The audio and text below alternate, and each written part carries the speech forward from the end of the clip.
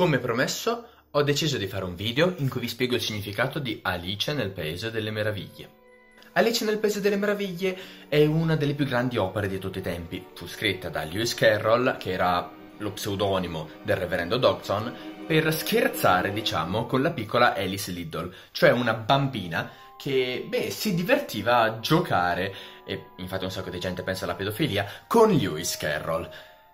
E all'inizio doveva essere un racconto così scherzoso, poi ci fece un libro. Allora, questo libro in realtà è diverso da come molti lo immaginano, quindi inizio a spiegarvi la differenza fra tutto ciò che potete aver visto al cinema e ciò che davvero c'è in questo libro. Tanto per iniziare, il libro è diviso in una parte 1 e una parte 2. In realtà sarebbe un sequel, cioè sarebbe un Alice nel Paese delle Meraviglie e poi c'è il sequel Alice attraverso lo specchio. Però nelle ultime edizioni stanno mescolando fra di loro i due libri e quindi beh, è diventato un libro solo. Il titolo completo quindi è Le avventure di Alice nel Paese delle Meraviglie attraverso lo specchio e quel che Alice vi trovò. Bisogna dire che è esaustivo. La trama all'incirca è questa. Alice si annoia e quindi inizia a immaginare nella prima avventura di inseguire un coniglio bianco, cadere nella sua tana e incontrare tutta una serie di personaggi. E nel secondo libro immagina di attraversare uno specchio e scoprire tutto il mondo che c'è al di là di questo specchio, che è completamente diverso rispetto a quello che lei si aspetterebbe.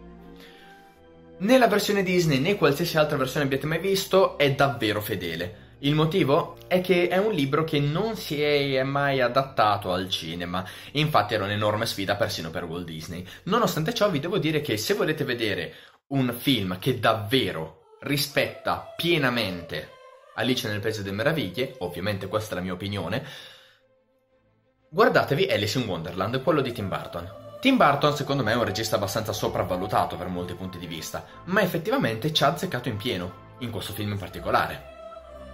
Ma effettivamente in questo film ci ha azzeccato in pieno. Sapeva perfettamente che Alice nel Paese delle Meraviglie non si poteva assolutamente trasformare in un film e quindi ha pensato di inventare una storia nuova usando gli elementi di Alice nel Paese delle Meraviglie. All'interno del film comunque non appare nessun personaggio inventato, sono tutti quanti già presenti nel libro. Sì, persino il Cicciarampa, che moltissime persone hanno detto, eh, ma non c'entra nulla con lo spirito di Alice nel Paese delle Meraviglie. Come non c'entra nulla che c'è? Il Cicciarampa, in alcune versioni tradotto in modo diverso come Giabbervocco o Tartaglione, come in questa edizione, è il gigantesco drago che Alice dovrà affrontare. Le viene detto fin da subito, infatti, che lei, da grande, dovrà affrontare il cicciarampa. Deve stare attenta all'uccello cicciaccia, deve stare attenta al grafobrancio, ma è il cicciarampa la vera minaccia. Il cicciarampa rappresenta l'età adulta, cioè il mostro è l'affrontare la propria crescita, la pubertà e tutto quello che ne consegue. È il grande mostro che Alice sa di dover affrontare, una minaccia terribile che incombe su di lei e che la trasformerà da una bambina a un'adulta. Ed è per quello che appunto nel film lo scopo finale è quello di uccidere il cicciarampa. Viene perfettamente descritto come dovrà ucciderlo, usando la spada bigralace e tagliandogli la testa. Tagliandogli la testa perché Vabbè, ci sono tutta una serie di simboli e comunque tagliare la testa al cicciarampa è abbastanza comico se pensiamo alla regina di cuori. Poi, altra differenza è che la regina di cuori e la regina rossa sono due personaggi diversi, completamente diversi, solo che nei film vengono sempre, sempre, sempre mescolati fra di loro perché effettivamente rappresentano la stessa cosa, solo che in due contesti diversi.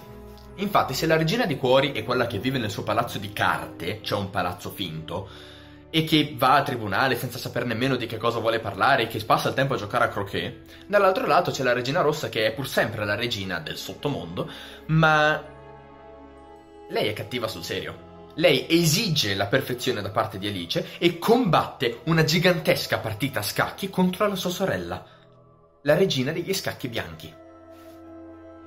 Questi due personaggi, la regina rossa e la regina di cuori, vengono spesso mescolati. Sappiate che la regina di cuori è quella che taglia la testa alla gente, ma la regina rossa è quella che la taglia davvero, perché generalmente la regina di cuori non viene presa sul serio, perché è soltanto un, una rompiscatole, mentre la regina rossa fa paura a tutti. Tutti e due sono modi per rappresentare un po' ciò che Alice non vuole diventare, ma che sa che effettivamente potrebbe diventare, e dall'altro la regina Vittoria, che era una regina spietata per certi versi e per altri ottima. E beh, questa regina Vittoria faceva parecchia paura ad Alice. E quindi qua ne abbiamo una perfetta rappresentazione.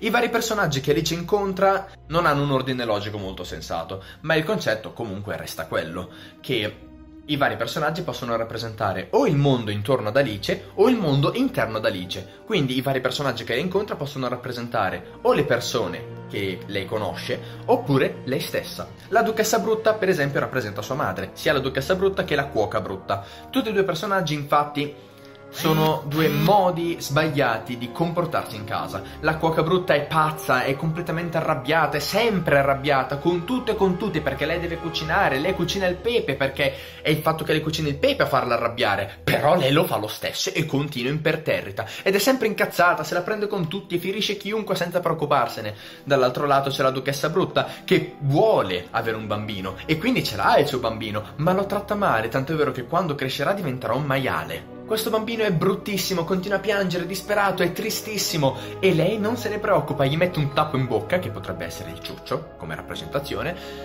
e non si preoccupa di crescerlo sul serio e di dargli davvero affetto. Il coniglio bianco non deve andare da nessuna parte e non sa nemmeno che ora sia, però ha fretta, ha fretta qualsiasi cosa debba fare, ha fretta di andare, deve andare, è in ritardo. Non fa niente, se è in anticipo, in ritardo, lui è in ritardo. Tant'è vero che nel corso di tutto quanto il film non lo vediamo mai una sola volta davvero in ritardo, eppure lui è in ritardo e pretende immediatamente l'arrivo di Marianna senza preoccuparsi del fatto che Marianna magari sia morta. No, vuole Marianna immediatamente perché quello era una sorta di modo brutto di vedere la società di quei tempi, che iniziava ad essere quella di oggi, cioè quella sempre più frettolosa, quella che voleva sempre arrivare da tutte le parti, ma in realtà non aveva nessuna parte in cui andare.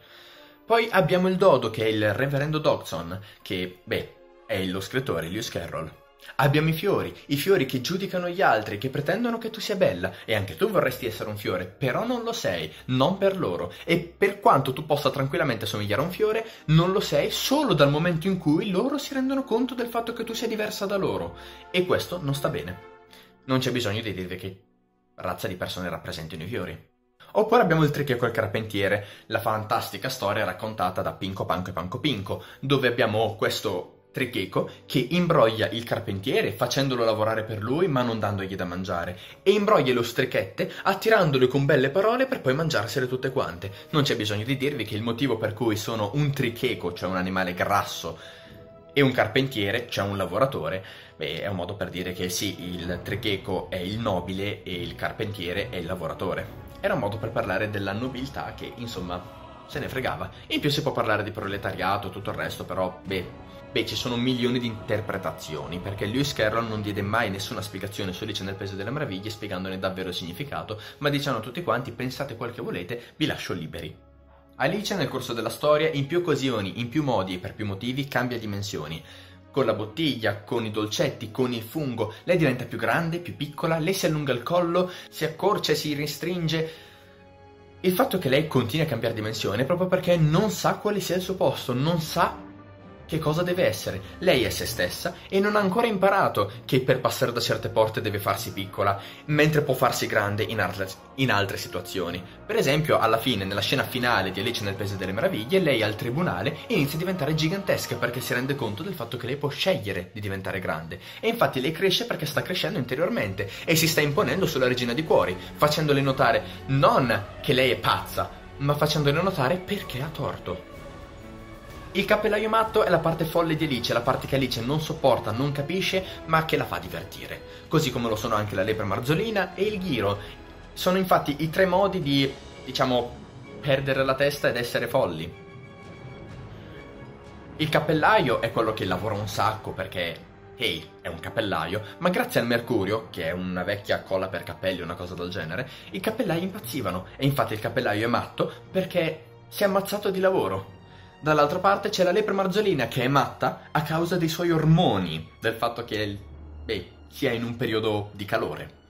E poi abbiamo il Kiro che invece è matto perché nonostante tutto quanto alla fine non fa mai nulla.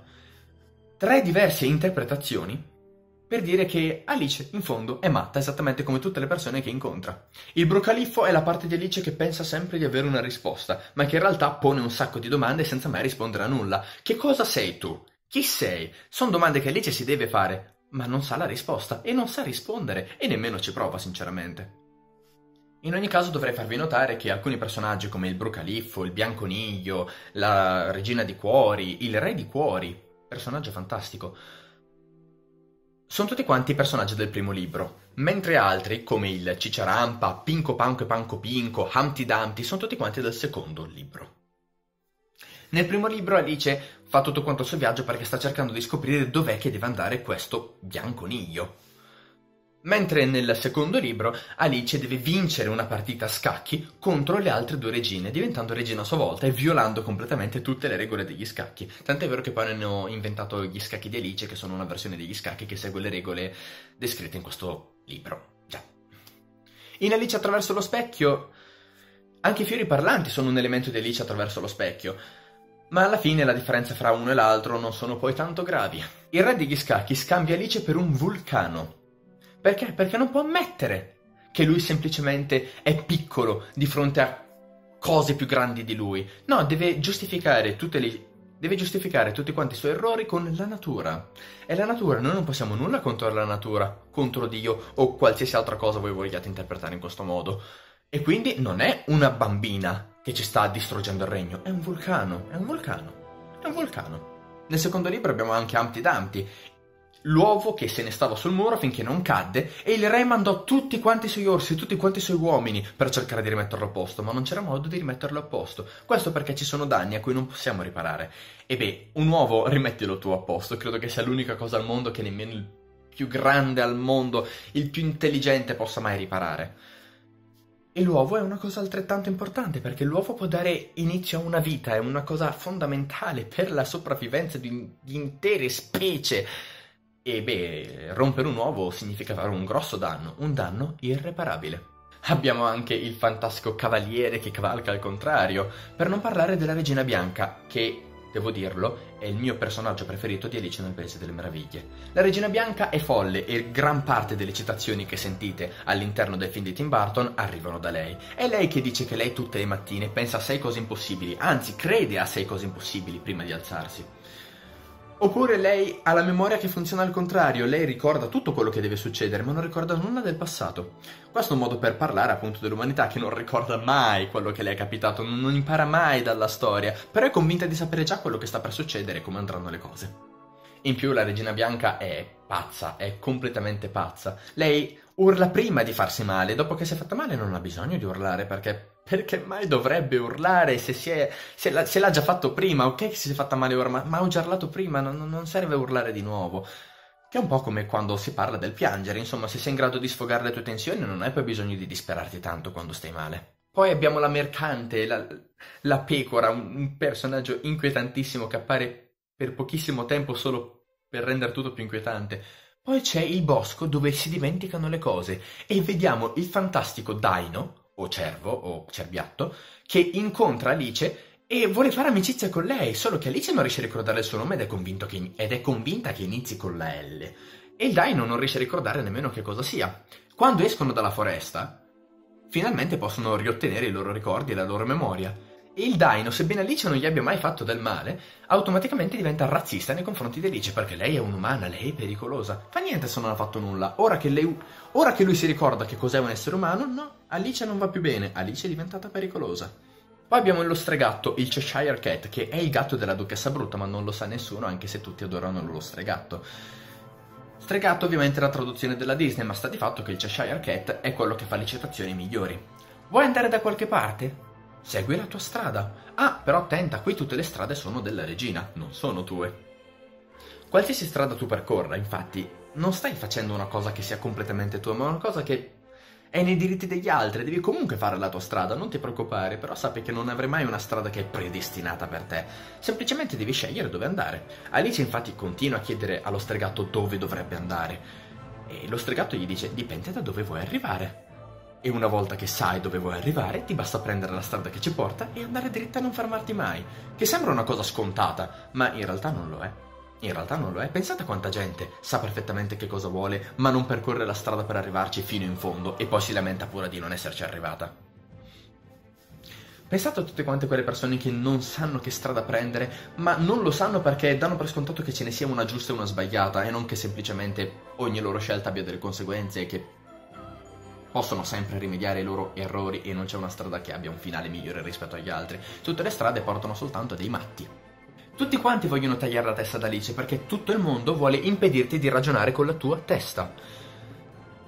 Infatti è questa la grande arma di distruzione di massa in Alice nel Paese delle Meraviglie, tagliare la testa, perché se tu tagli la testa a una persona, questa persona non può più ragionare, è l'unica cosa brutta che gli puoi togliere. Puoi togliergli la vita, puoi ucciderlo, ma togliere le idee è la cosa più pericolosa in assoluto. Poi beh, Alice cade all'interno del buco del coniglio perché deve andare in profondità dentro se stessa. Insomma, man mano che lei cade va sempre più in profondità. Infatti arriva in profondità facendo dei ragionamenti stupidi, ma che in realtà servono ad autodeterminarsi, a capire se stessi. Vorrei anche far notare che Alice non riesce a risolvere i suoi problemi finché piange e annega nelle sue lacrime. Infatti, dopo essere annegata nelle sue lacrime, incontrerà un sacco di personaggi pazzi, come quelli che fanno la maratonda, che continuano a correre e fanno un sacco di fatica. Però corrono uno dietro l'altro e nessuno arriva mai primo. Però loro vogliono tutti quanti arrivare primo, però stanno correndo in tondo e quindi nessuno arriva primo. E tutti sono convinti di essere i primi e che tutti gli altri siano dietro che li stanno seguendo. Capite? Bellissime parodie del mondo reale.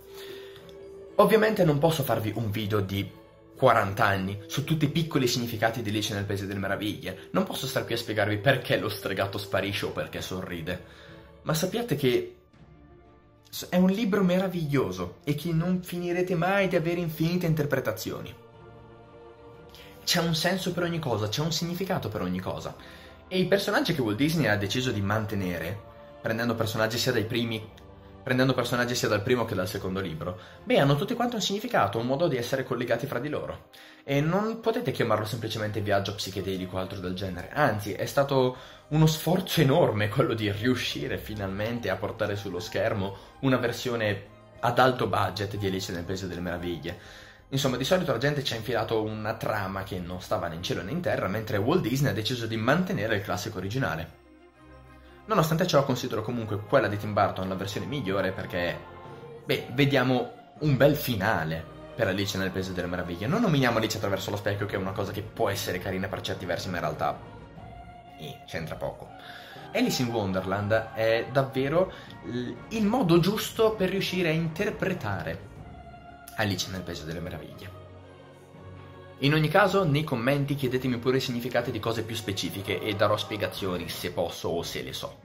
Perché ovviamente io non so tutto e so solamente alcune interpretazioni di ogni cosa. Perché con le fiabe e le favole è molto più facile, ma quando si parla di cose più complesse c'è da divertirsi, per questo sono i miei libri preferiti. Quindi chiedete pure tutto quello su cui avete dubbi, chiedete tutto quello che volete, non, non disturbate affatto. E magari se fra voi commentatori c'è qualcuno che adora il libro, che conosce qualche significato, rispondete anche voi al posto mio, perché imparerò qualcosa da voi e voi insegnerete qualcosa alle persone che sono interessate al significato di questo libro.